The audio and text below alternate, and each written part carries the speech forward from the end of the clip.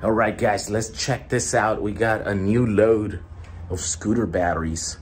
Let's check it out. All right, this load is about 25,000 pounds of scooter batteries. And these are uh, like the R5s. These are the R5 batteries we have on our website right now selling 40 cells. They're Panasonic 3200, the, the 18650 BDs. So these are really good cells, almost like, you know, almost the same thing that is in a Tesla, for example. So these are Tesla quality 18650s. And we have a bunch of 25,000 pounds of this stuff. And then the new one that we had some of these already, but we hadn't listed them. And we just listed them. These are the R5 shorties. And these are 40 cells, but these are LG uh, 18650 MH1s, right? So also 3200 milliamp hours, but they're slightly bigger uh, capacity here.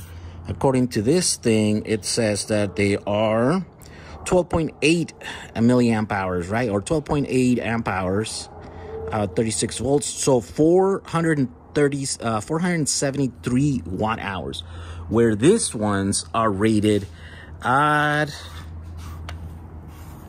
460 watt hours. Well, that's so weird. 12.8 amp hours.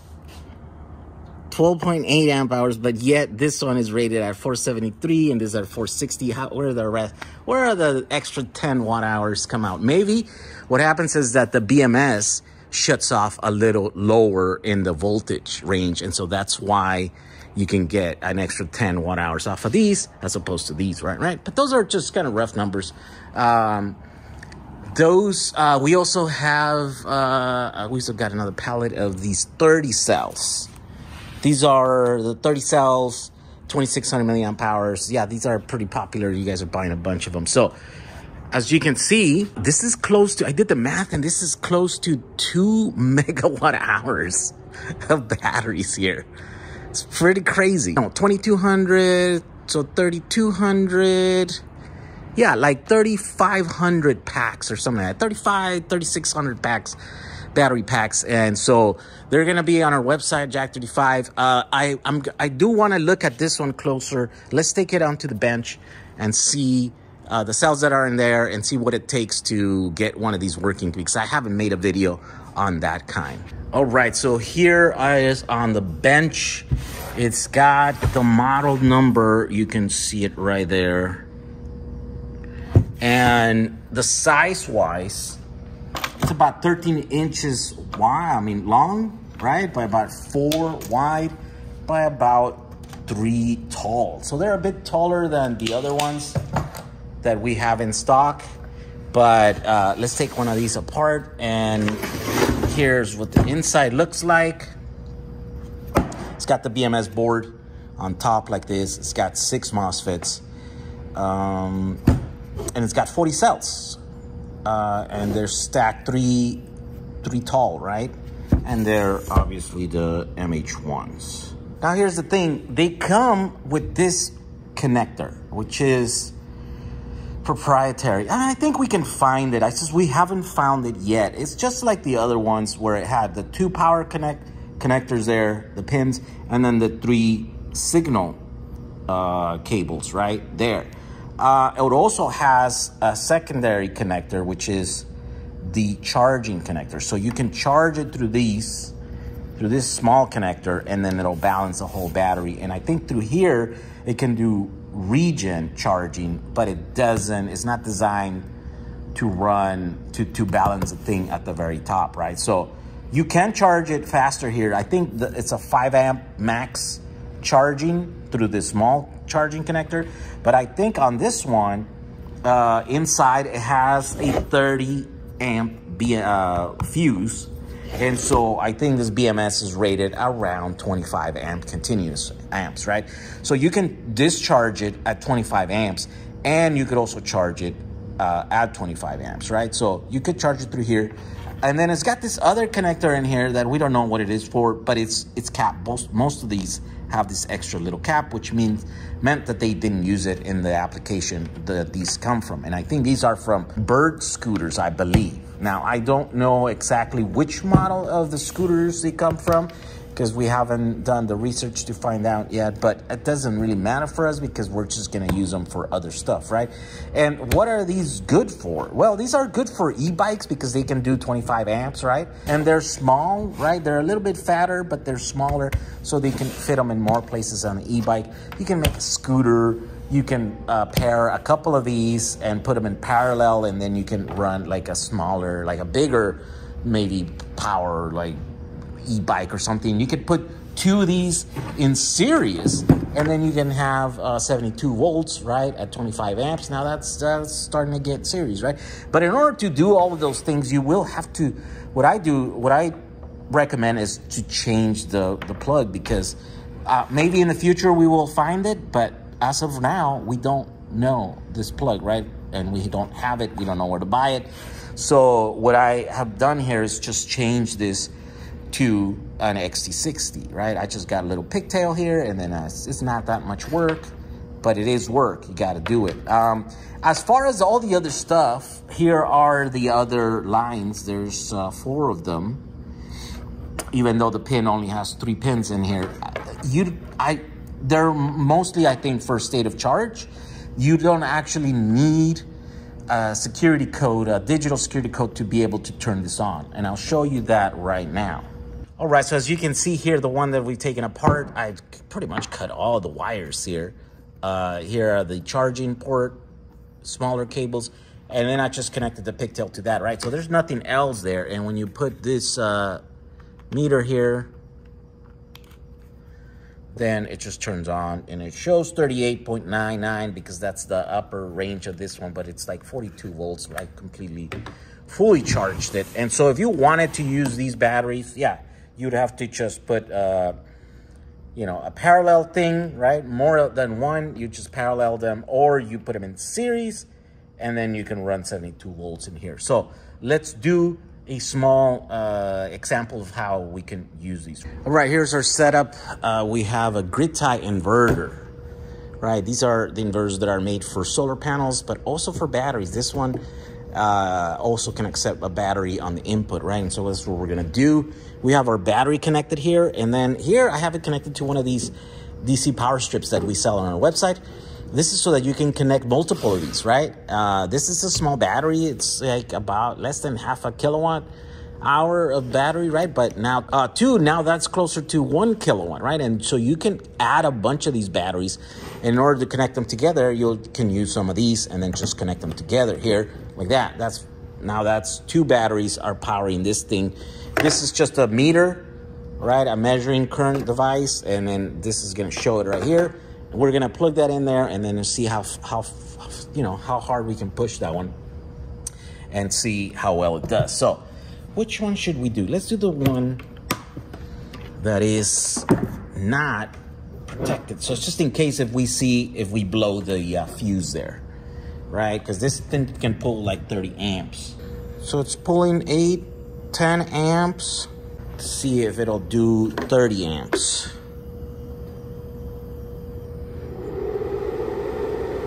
Oh, there we go. Oh. So I think the the BMS, yeah, so the BMS stepped in. Okay, to re-wake the battery, to wake up the battery, what I've done is I've connected a uh, power supply right in the uh, bus here. And it's gonna put 40 volts back in here. So hopefully that's gonna wake up the battery and then from there we can run the test again, right? So let's plug it in.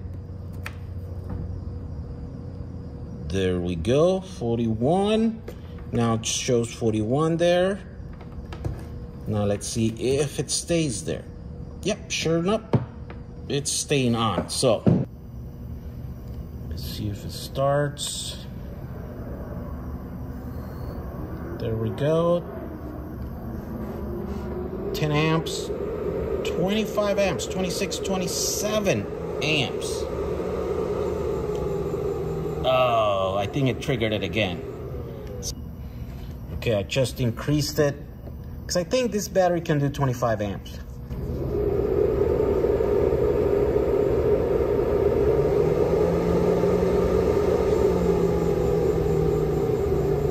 There we go, 23.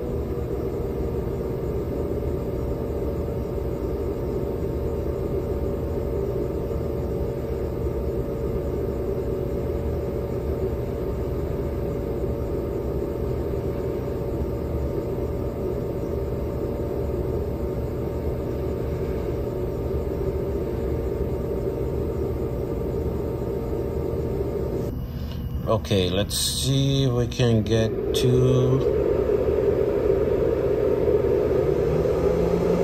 24.6 amps. Ah, there we go, and it cut down. So it's around 23 amps, maybe. I think that's where we're at. All right, here we go. Let's see our 23.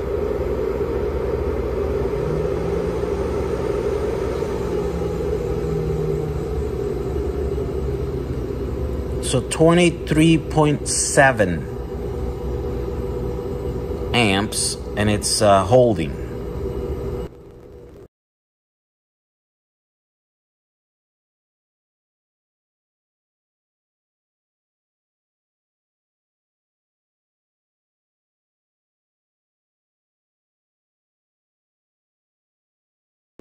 Right, another test I want to run is to see when it will shut down. Right now, I'm charging it at 10 amps and it's at 42.5, right? So let's see at what point it will uh, disconnect.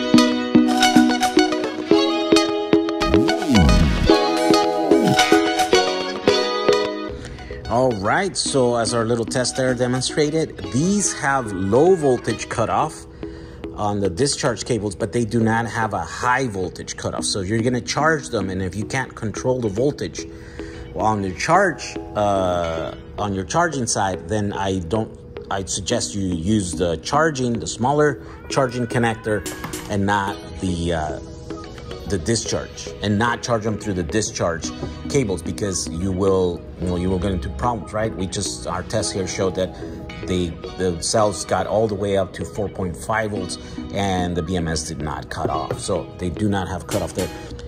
All right so these are our uh, r5 shorties. That's what we're calling them on our website jag35.com uh, to summarize our little test here they can put out about 23 amps continuous, right?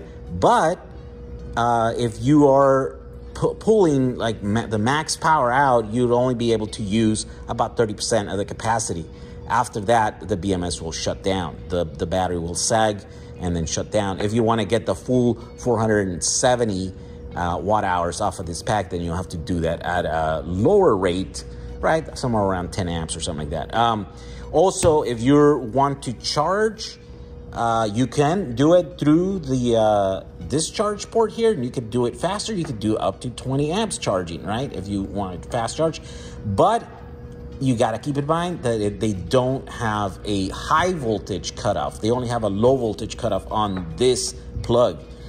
If you want a high voltage cutoff, right, because you can't control your charger, then you must use the charging port which are will limit you to about 5 amps charging. So there you go. These are the R5s. They're very compelling. They're super cool. They were super light and compact packs. So much that I'm gonna actually use them on uh, DIY cars, so my fleet of VW buses, right? Uh, because we have enough of these, and I'm gonna keep some for myself. So these are some of the best batteries that we've gotten. Uh, if you can work within the uh, specs and so the limitations that they have then these are great. So thank you for watching this video. We'll see you guys on the next one. Oh, by the way, before I go, uh, we have some of these batteries uh, in Canada. There's a lot of these in Canada and we're going to auction them off. And they're going to auction in lots of 30 packs, right? And uh, no reserve. So you can get them for $3 or you can get it for $10 you or you can get you know i don't know i don't know how high they're gonna go but uh, here's a good chance of you, someone like you that is looking for some of these uh, to be able to get them at a very cheap price, right? Uh, depending on just how many people show up to the thing. The auctions is ongoing right now and it's gonna end on the 27th. So you'd have to go to premierauctions.com and then you have to uh, register your name there so you can start bidding and then put all your info and stuff and then uh, you can just follow the link i'll put a link on the bottom of the description otherwise if you are in states and you want to get some of these well you can go to jag35.com and then we have these there uh, as well as uh, a full assortment of these uh, scooter packs right the 20 cells the 30 cells these 40 cells the r5s and then the uh, all the other ones right so there you go. Thanks for watching this video. We'll see you guys on the next one. Stay busy making DIY projects as always. Bye.